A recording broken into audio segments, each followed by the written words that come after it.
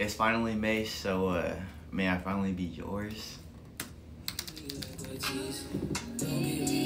What's that?